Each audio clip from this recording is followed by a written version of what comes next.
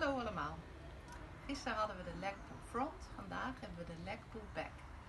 De oefening is stevens bedoeld voor het verstevigen van de achterkant van je armen, je triceps.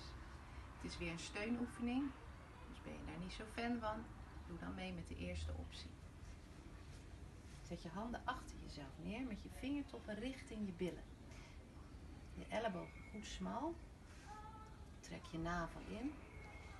Schep je buikspieren en buig je armen. Duw jezelf omhoog.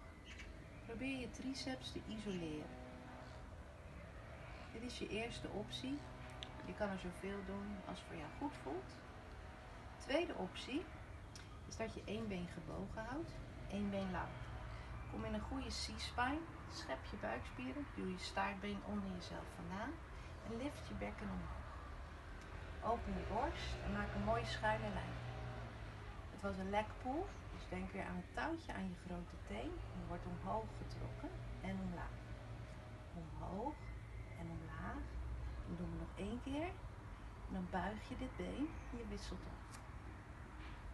Zorg dat je plank niet inzakt. Adem rustig in en uit. Bij de laatste optie maak je twee lange benen. Draai je benen uit naar de pilatenstand. Hou je plank intact. Lift je been op en laag. Adem uit en in. Uit en in. Wissel van been.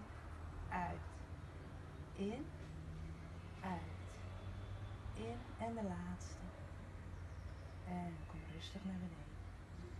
Misschien wil je heel even je triceps oprekken. Breng dan je elleboog omhoog, je hand tussen je schouderbladen.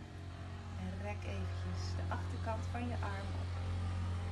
Hou even vast. Adem.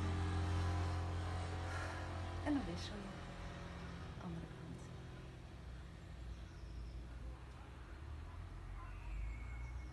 Schud even los. Dan zijn we klaar voor morgen voor de volgende steunoefening.